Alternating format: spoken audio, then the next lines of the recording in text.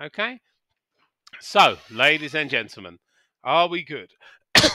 now, now I have to cough. Now, the, now there's a recording. All right. So we have equilibrium one. Everything's fine. The water level stays the same.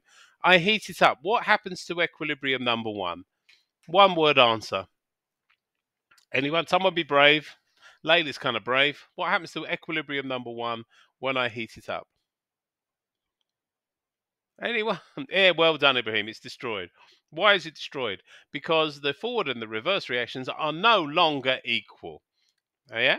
Eventually, they will become equal again, and then we get equilibrium number two. Okay? What's different about equilibrium number two compared to equilibrium number one? I'll tell you. Equilibrium number two has more gaseous water in it. Is that clear? Are we good? Are we good? Are we good? Excellent. Eric gets it. There's more. But how do we say that to each other? How do I say it to another chemist? Another chemist walks in and I have to tell them what's happened. Does anyone know? The, th- the thing is, you all know what to say. You just don't know when we say this term. Oh, shall I tell you? When this happens, when you get more water going this way, this is when we use an awful expression, but this is what we say. We say the equilibrium has shifted to the right. That's what it means, okay? It simply means we've got more of that than the old equilibrium. Now, is it the same equilibrium? No, it is not. It is a brand new equilibrium, yes? But we say, ah, the equilibrium shifts to the right. So when the reversible reactions don't have a balance, Yes, exactly. That's exactly it, Layla. You have one equilibrium, you change the conditions, things move around, and you get a new equilibrium. It's not the same equilibrium. During the process of heating, there is no equilibrium. Exactly, Fanny. There is not. Okay? The, the endothermic reaction is faster, gets faster than the um, other one. What's the other one called? The exothermic reaction. Yeah? And the other one catches up. Why does it catch up? Because there's more molecules on that side. Does that make sense? You have an equilibrium, it is destroyed by a change in condition, and then you have a new equilibrium. Yes? Now, listen to this very carefully. That is why we say the equilibrium shifts to the right or shifts to the left. If that didn't happen, Fanny, we wouldn't get a change in concentration, would we? If the equilibrium wasn't destroyed and then reformed, if it if the equilibrium just stayed there, nothing would change. The equilibrium has to be destroyed and then has to be reformed. You know, as a different equilibrium. Does that make sense? Or have I just succeeded in confusing everyone? Fanny gets it. Anyone else? Are we good? Are we good? Yeah, it makes sense, but it's it's quite a complicated topic, eh? If you understand it as you should do, like I do, especially what if you want to do A level chemistry, you, you've got to understand it. Things like this. Now, let's go over to the left one. What happens if we cool it down? Let's have a look. All right, let me go H2O. Uh, oh, that's not good, is it? What's going on there? Let's make it nice, shall we? Let's cool things down, and then we'll do some questions. H2O liquid H2O gas. If I cool this down, this middle one down, and I cool it down to 10 degrees C, which reaction will slow down? Initially, which reaction will slow down? Anyone want to guess? Exactly, Eric. Well done. Evaporation will slow down. Okay. Why will evaporation slow down? Anyone? Why? Why is evaporation hurt by me slowing down the react? Uh, by me cooling the reaction? Because it's endothermic. Exactly. What happens to at right at the start? What happens to the condensation? What happens to the condensation if I cool it down? No, no, no, it doesn't get faster, guys. Yeah, strangely enough, it doesn't get faster. The condensation just remains the same. It's only the only one that's affected by heat is the endothermic process because it needs heat to happen. Yeah, the exothermic process, ah, except for um, for activation energy, it doesn't really need things. All right. So if the forward reaction slows down and the reverse reaction is the same, do we have an equilibrium here? Is there an equilibrium where I'm writing here? Yes or no? Is there one? No, there's no more equilibrium. So what happens when there's no equilibrium? Can you see which reaction is faster? And because the evaporation, it's not faster than it was, but the evaporation is now faster than the forward reaction. So what happens to my water level? If you think about it, what's going to happen? It's going to increase, isn't it? Because this is faster. Yes. Now, what's going to happen to molecules of, of water in the air? What's going to happen to the molecules of water in the air? The amount of them. Anyone want to tell me? What happens to the it reduces and because of that eventually because there's getting less and less in the air what happens to the rate of condensation eventually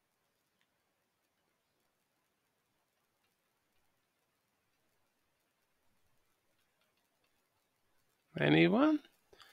Yeah, it it gets slower and slower and slower. So this one, that's the rate of uh, evaporation, but eventually the rate of condensation will slow down because there's not enough to in there to condense. They've all gone. There's not enough there. So we have, what should we call this down here? I'm going to call this equilibrium number three. And what can you tell me about equilibrium number three? It contains more liquid water. The water level has increased here. It contains more liquid water. And as one chemist would say to another, the equilibrium has shifted to the left. Yes? Do we get these concepts? And then we'll do the questions now. Are we good with these concepts? Are we good? Yeah, Layla's good. You got to be honest, though, guys. Honestly, even though you're a bit confused, it's a, this is a tricky subject, eh? Seriously. So I'm going to get rid of that. Don't worry, I've recorded it, and I've got some questions for you. They're not hard. We'll do them together. All right. I don't want to be here too long because it's painful listening to me all the time. Trust me, I know. All right. There's a nice reaction. This is the kind of thing we have to do. All right. So if we understand this, we're looking good. All right. Iodine reacts with chlorine to form a dark brown uh, iodine monochloride. And there's the reaction. Okay. Iodine. Let me get a nice black pen for this. Oh, I don't know what that was. All right. So this is the first reaction. This is uh, iodine monochloride. Iodine plus chlorine. This reacts with more chlorine to give a yellow, uh, to give the yellow iodine trichloride, this guy here. As you can see, it's a solid. All right, this is an equilibrium between these two chlorides. This is an equilibrium here, as you can see. Okay. All right. It's a reversible reaction. There you go. What do we mean by equilibrium? Right, if we had to answer this, there's two ways of answering this, and we shouldn't do them both. But an equilibrium is established when the rate of the forward reaction is equal to the rate of the reverse reaction. Okay, now that's one. That will give you one mark. What happens to the concentration of everything when you have a exactly? Well done, for saying concentrations of both reactants and products remain unchanged. Okay, that's pretty cool. Two marks, easily. To be honest with you, that alone will probably give you two marks, but we're just making it perfect. When the equilibrium mixture is heated, it becomes darker. Okay, is the reverse reaction endothermic or exothermic? Now look at this equation here. Which way does it have to go to get darker? Which way? Does it go to the right or does it go to the left to get darker? Anyone? Oh, I keep getting notifications on my phone. Anyone want to answer that? What's going on? Anyone? So when equilibrium shifts to the left or right, is there a slight... Hold on. Where's Layla? Layla's gone. Hold on, Layla. Layla, Layla's gone on my thing. When equilibrium shifts to the left or right, is there a slight chance in how much reactions? I don't know what that means, dear, to be honest with you. Darling, I think what you're doing, Layla, I think you're overcomplicating things. It's a lot easier than you think. Just relax, eh? So, first of all, Ibrahim's got it. Left, left, left. Finally says left. So if it goes darker, the equilibrium must have gone that way, to the left. In other words, we get more of this. Yeah? What did we do to get more of this? Well, we heated it. Yes? And if we heated it and the equilibrium shifted left, what does that mean about the reverse reaction? Exactly, Layla. Don't put a question mark, dear. You're quite right. The reversible reaction must be endothermic because it's the one that was that it went that way, didn't it? It's the ones that gets faster. So it must be the reverse reaction must be endothermic because it shifted left when we heated it. Okay, so the reversible rea- sorry, not the reversible. That's rubbish, isn't it? I should have said the reverse reaction must be endothermic. Give a reason for your choice. Well, on heating, equilibrium shifted left. So, reverse reaction must be endothermic. I hope that makes sense. All right. Is it endothermic because it's breaking bonds? Well, uh, yeah, it's getting uh, Layla, you want to ask a nasty question there. It is breaking bonds in the um, ICL3, but it's also making bonds in ClCl2. Now, the, the reason, the thing that makes it endothermic going backwards, yeah, we are breaking bonds. We're using the energy to break bonds, but also uh, the bonds being made aren't giving out as much energy. Okay. It's an it's a balance thing. There is more going in than coming out. Does that make sense, dear? Let me draw a reaction profile because uh, Layla's got a very good question there. Let's have a look at this. Okay. Oh, that's not good. Here we go. All right. Now, this is energy. And this is something called we call reaction coordinate we don't have to worry about that too much. All right, now obviously I've lost the reaction. Right, ICl plus Cl2. So we start off here. And let's do this. ICl plus Cl2. And then we end up with, and I obviously, oh, I think it's uh, iodine trichloride, isn't it? So we end up with ICl3. Yeah. Now, the forward reaction goes from this. These are the reactants for the forward reaction. And this is the products for the forward reaction. Okay, and then we get this. That's the reaction profile. Okay, so for the forward reaction, down, okay, delta H is negative. But for the reverse reaction, delta H is positive. All right. Now, let's have a look at this. For the reverse reaction, can you see what's interesting about the reverse reaction?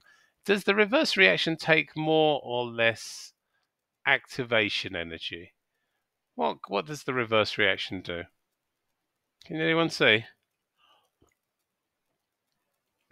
No, no, no. We don't do more molecules on the right than the left here. We don't do that yet. We're not talking about that yet, Layla. We're, that's um, that's a concentration thing. Anyway, so let me not talk about the uh, activation energy because I don't want to confuse you. But if I give this energy, what do I get? I end up, if I give ICO, I get I atoms a Cl atom, a Cl atom, and a Cl atom. Okay, so this direction, I have to give it this much energy to break. I break an ICl bond and a ClCl bond. Okay, and it costs me X. Now, this reaction, the forward reaction, I form an ICl bond, I form another ICl bond, and I form another ICl bond. Okay, now looking at this equation or looking at my diagram, which is harder?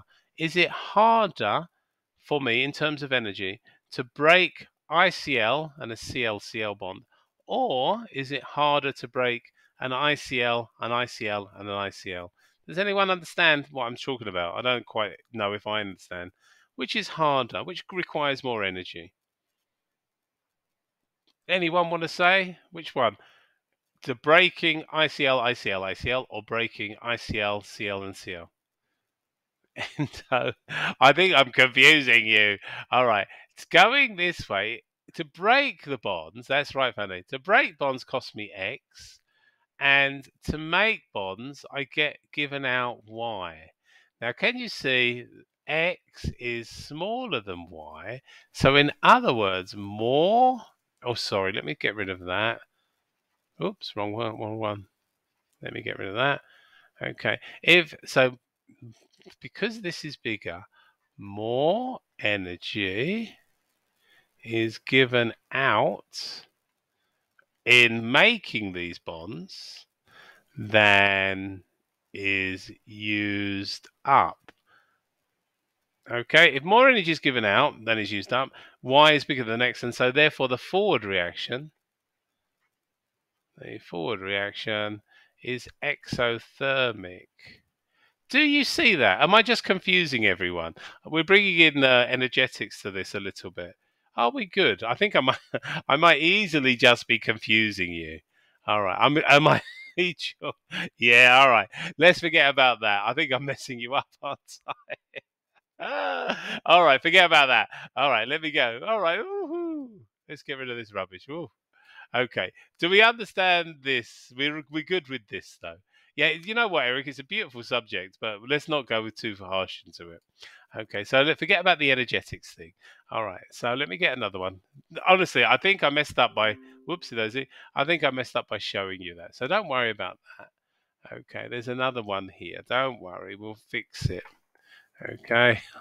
I always do this. I always mess up by going too complicated, and everyone shouts at me in the end. All right. The pressure. Now, let's have a look. Now, here we go. We can't remember the equation, so I'll write it here. It's ICL gas. Oh, no, it's not. ICL liquid plus Cl2 gas gives ICl3 solid. The pressure is decreased. How will this affect the position of equilibrium and why?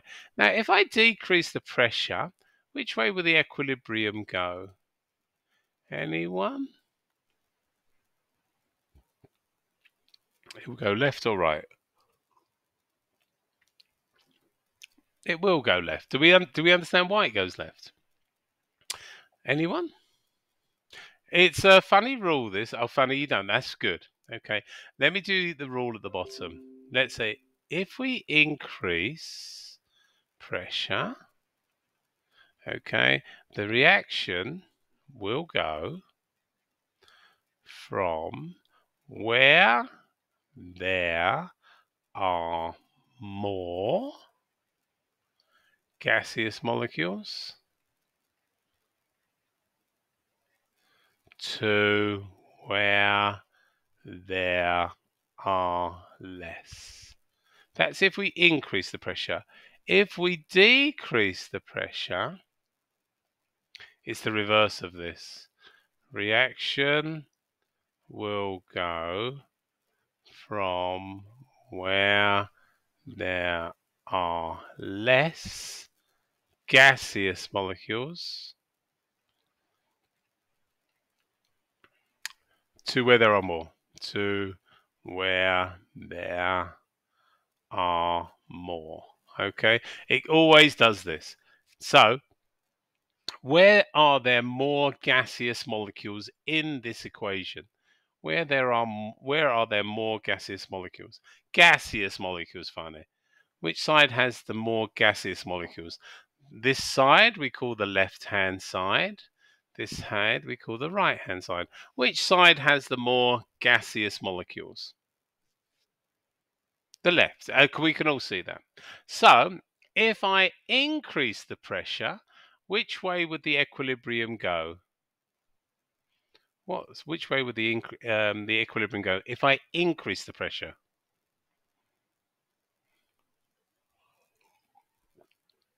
That's right. We go to the. Oh no, Eric, it would go to the right, Eric. If I increase the pressure, it goes from where there are more to where there are less. There's none on the right. There's no gaseous molecules on the right. So, so, but we're not. That's if we increase the pressure. Let me get a different color. That's if we increase the pressure. But this particular one wants us to decrease the pressure. So which rule do we use? Uh, there is a rule. There is a reason for the rule. I don't know if I want to get into it though, because um, uh, anyway, we'll talk. Maybe we'll talk about the rule in a minute. Why it works. Okay. So if I decrease the pressure, what are we going to get? So if I decrease the pressure, it goes from where there are less, this side, to where there are more, this side. Are we good? Let me have a look. Is there a reason for the rule? Yes, there is. Is an increase in pressure favors the side with the less number of moles? Uh, it's got to be gaseous moles, eh? All right. But yes, you're right. It will it will favor the side with the least number of gaseous moles, not moles, gaseous moles. Does that make sense, Ipuseng?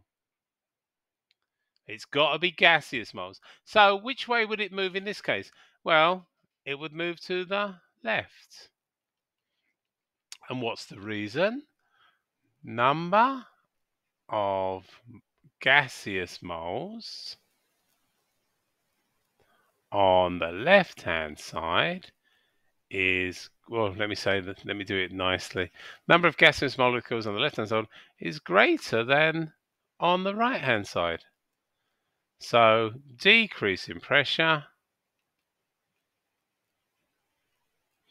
shifts left. That's all you've got to know. Now, you and ask a very good question. Um, if you've got more gaseous molecules there, what happens is if you increase the pressure, it affects those more than if you have less. All right, I don't want to go into this too much, but if you increase the pressure on a gaseous reaction, it squishes them together and it, goes, uh, what happens? It moves to the side with the least gaseous molecules.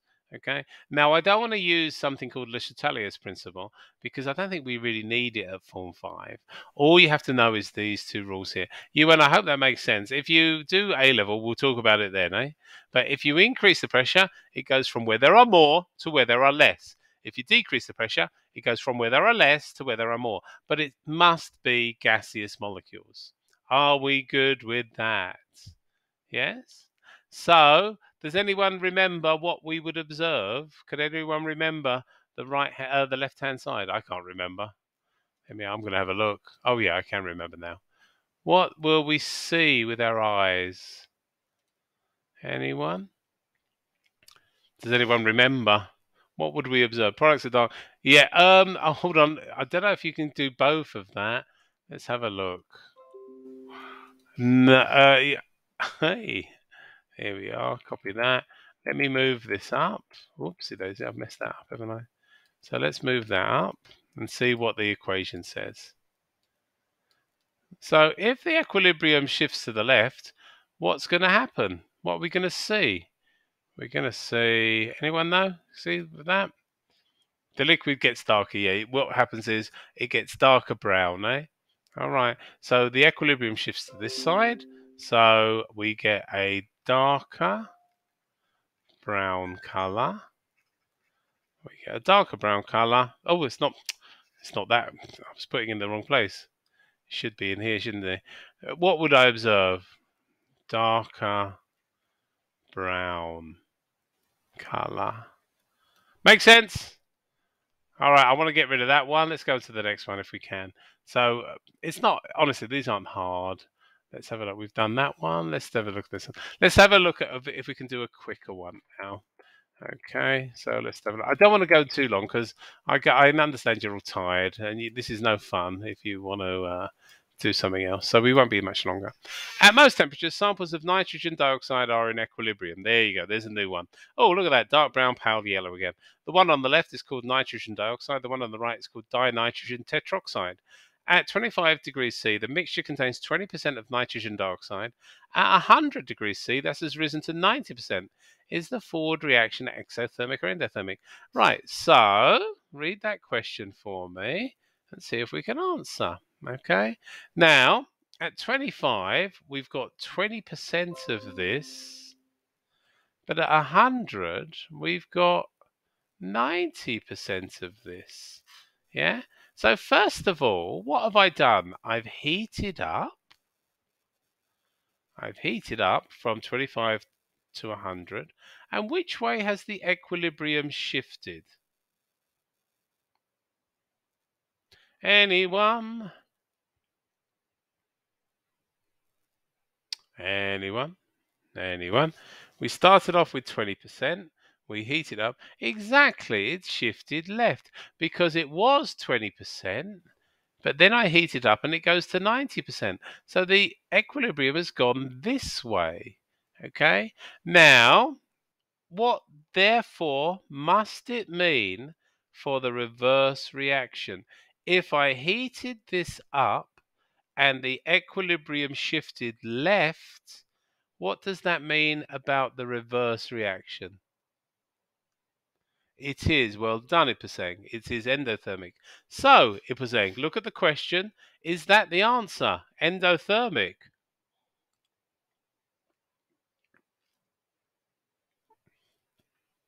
Anyone want to read the question and tell me? It's not the answer, is it? Can we see why? Anyone? Anyone, anyone, anyone? Be brave. Chemist is always brave. Yeah, the forward reaction is exothermic. Now, what this tells us, this rubbish, it tells us the reverse reaction is endothermic because endothermic. Why? Because on heating, it shifted left. But because the reverse reaction is endothermic, it doesn't want the reverse reaction. It wants the forward reaction. So we've got to say forward reaction is therefore exothermic. I hope that makes sense to everyone. Are we good with that? Explain why the color of the equilibrium mixture becomes lighter when the pressure on the mixture is increased. Ooh, so let's have a look at this. We've got 2NO2 gives N2O4. Okay, they're gases and gases. This side is brown. This side is yellow. Yellow is lighter than brown. Okay, so First of all, why the color of the equilibrium mixture becomes lighter. First of all, which way does the um, equilibrium shift? If it becomes lighter, which way must the equilibrium have shifted? Yeah, it must have gone to the right. So when the pressure was increased, equilibrium shifted right. Okay, why did the equilibrium shift right? Now, how many gaseous molecules on the left? Anyone? Anyone? How many gaseous molecules on the left? This is the left-hand side. Exactly, this is the right-hand side. So there are two gaseous moles or molecules on the left-hand side, which is greater than one gaseous mole on the right-hand side. Increase in pressure uh, shifts equilibrium from where there are more to where there oh my pen's got all horrible are less. Does that make sense? Are we all good with that? So that's why the equilibrium shifts to the right because it goes uh, from where there are more to where there are less. Okay let's have a look at the next question. Are we good? Yeah. All right one last one. Last one everyone. I think you've done very well for sticking with me for this long Okay, so let's put this one on. All right, let's do this very quickly. Carbon monoxide and Cl2 give uh, carbonyl chloride. There you go, up there. And let's have a look at some of the questions here. Two methods of preparing carbon monoxide are from methane and oxygen and from methane and steam. The reaction between methane and oxygen can also form carbon dioxide. How can carbon monoxide be made instead of carbon dioxide? Anyone know? That's nothing to do with our question, isn't it? But how would you make carbon monoxide instead of um, carbon dioxide in that method? What would you do? How would you change the conditions? Anyone? Very quickly. I'm tired, you're tired. Let's get this out of the way. How would you make carbon monoxide rather than carbon dioxide? Anyone? Anyone? Anyone? Anyone? No, I think we're all tired, aren't we? How would you make carbon monoxide rather than carbon dioxide? Yeah, exactly. You'd ha- you'd decrease the amount of oxygen. You would have insufficient oxygen, and yeah, I'm going to write that down because it's an excellent answer. You have insufficient oxygen. Okay, and we would have something called incomplete combustion. That's what you want okay, because you want carbon monoxide. Now, this is our uh, equilibrium question. The following reaction is used to make carbon monoxide and hydrogen. The reaction is carried out at very hot, that is hot, and under normal pressure. The reaction is reversible and comes to equilibrium. Suggest why a high temperature is used. Why do you think we need a high temperature? Anyone? Why would a high temperature? What are we going to do? Anyone? Why do we need a high temperature for this? What do you think the forward reaction is? Is it endothermic or exothermic? Do you think it's a it's a reversible reaction, and we want to make these things? We want to make carbon dioxide, uh, carbon monoxide, and hydrogen. So why do you think we use a high temperature?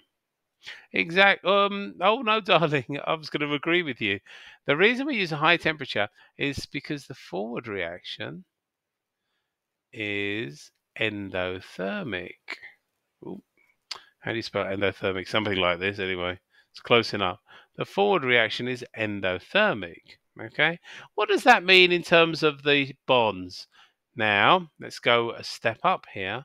It needs it needs energy, so we need a lot of energy to force it over because it's endothermic. All right, and if in reaction is endothermic, it means this. It means the energy used to break bonds in the reactants must be greater than the energy released when bonds are formed in the products. Now, I, we're not doing energetics today, but that's why it is endothermic because it takes more energy to break the bonds than uh, that we get forming the bonds. So we have to put a lot of energy in to push the reaction over. Okay, we're nearly done, guys. You've done a very good job. Seriously, this is the last thing. All right, this is a silly answer, really. I can see the question. All right, let's have a look at this. And does anyone know this? What is the disadvantage of using a high pressure for that for a reaction? Does anyone know what's a what's a disadvantage? Yeah, it's very very expensive. You have to change everything in the plant. Yeah, it's a disadvantage. Um, it's expensive. You need to make everything pressure proof and stuff like that. Yeah. But have a look at the equation though. how many gaseous molecules on the left? And how many gaseous molecules on the right?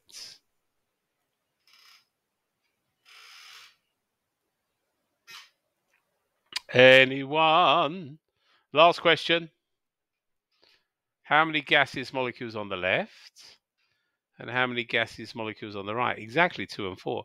So what would a high pressure do?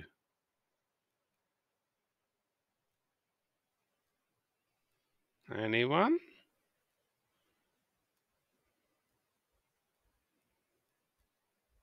Anyone? It was shifted to the left because there's four on the right and two on the left. So a high pressure would do what to the equilibrium? It shifted to the left. And if the equilibrium shifts to the left, what would that do to the yield of the reaction? What would happen to the yield? if the equilibrium was shifted to the left. Well done, Layla. It would decrease the yield. So we don't want to use high pressure, do we? So they're saying what would be the disadvantage of a high pressure? We would get the yield would be lowered. Why? Because two gas molecules or moles on the left hand side is less than the four gaseous moles on the right hand side. So an increase in pressure would shift the equilibrium to the left. Okay, now, ladies and gentlemen, I don't know about you guys, but I think you've done very well, and I, I I'm very tired. Oh, let me switch off the recording.